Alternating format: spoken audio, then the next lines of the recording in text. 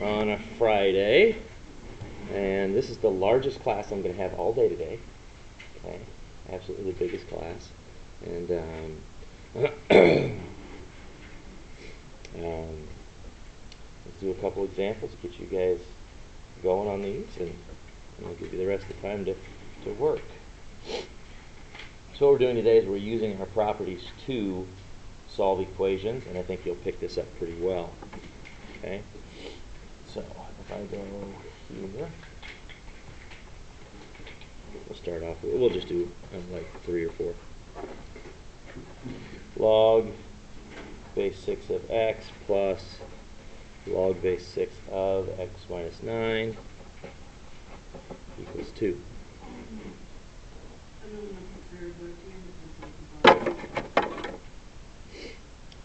For those of you listening at home, yeah, Rosa just totally interrupted me.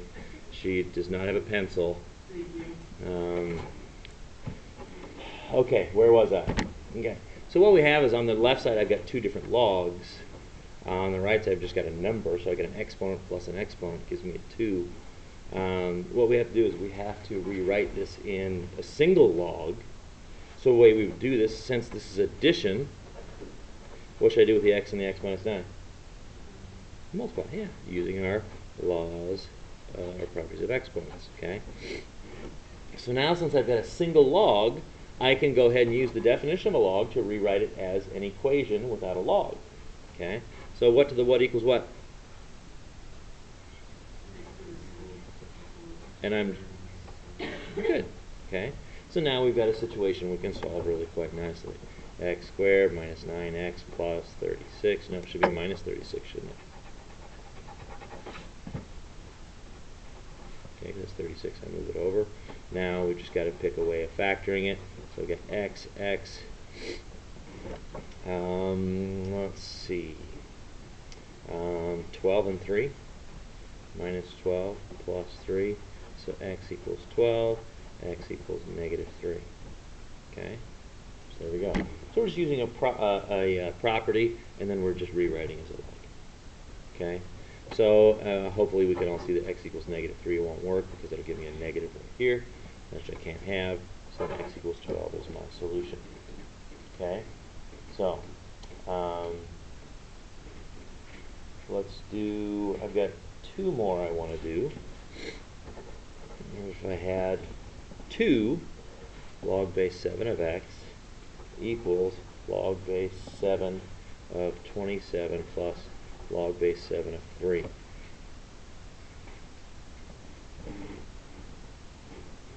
Okay. Well, right side, log base 7 of what? 27 times 3, and that's 81. Okay. I don't know what the log base 7 of 81 is. I'm sure we can get out of this somehow. So on the right side, what can I do with the 2? Exponent, yeah, we'll pop it up top because it's an exponent times an exponent. And so that 2 is also an exponent.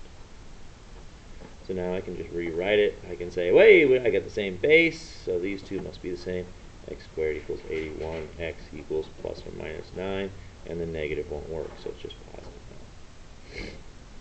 So it's just using that, that other property along with it. Okay. Last one.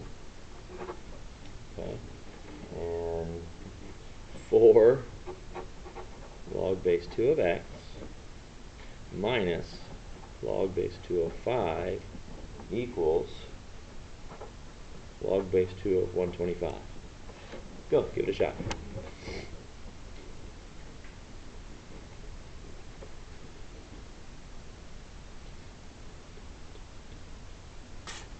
Freeze that.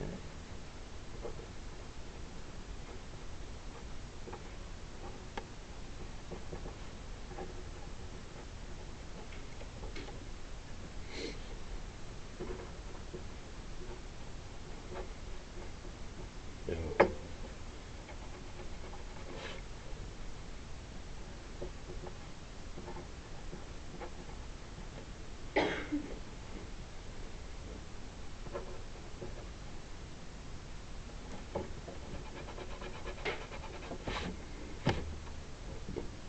So with the subtraction, we're going to have to rewrite that as a quotient.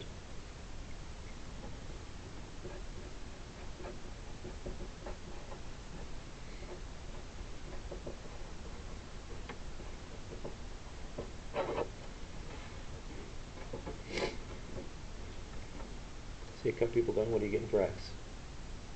Five. Boom. A look. Okay.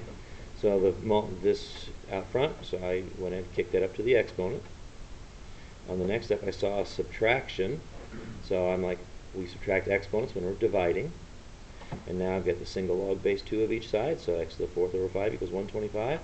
Whaa! Cross multiply and I get x to the fourth equals 625, and x is equal to technically plus or minus 5, but the negative 5 won't work.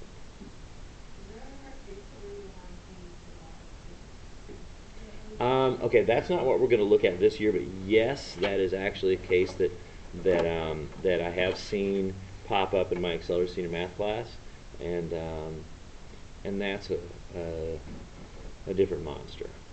Okay, um, if it, I, I don't know, let's take a look. So this is not something you're going to ask to be. Log base seven of x equals log base five of ten. Let's just say whatever that is. So what I can do is I can I can um, I can exponentiate each side. I think it's been a long time since I've done this. So seven log base seven of x equals seven raised to log base five of ten. These two cancel each other out, so I've got x equals seven raised to log base five of ten. Okay, and then this right here I can figure out what the log base 5 of 10 is using my change of base. And I'll take 7 to that power. So, not a big deal. That's probably the next next level of log solving you'll see next week. Yeah. Back to the problem you just- Back to the problem we just did. There you go. So, you know how we put x to the fourth and then divide by five? Mhm. Well, Because that's you just do, yeah, I know, couldn't you just, like, why wouldn't we just be able to do five x to the fourth? Like, Why do we have to divide by? okay because because subtraction. Oh. So what we've got is we've got a positive exponent and a negative exponent. Okay, Okay. Negative exponents you can think of come from things that are down bottom. okay, so those addition, right? If it was addition, that'd be 5x to the fourth. I just can think about it. Yep. Okay. Okay. So then you have the assignment that I gave you the other day, right?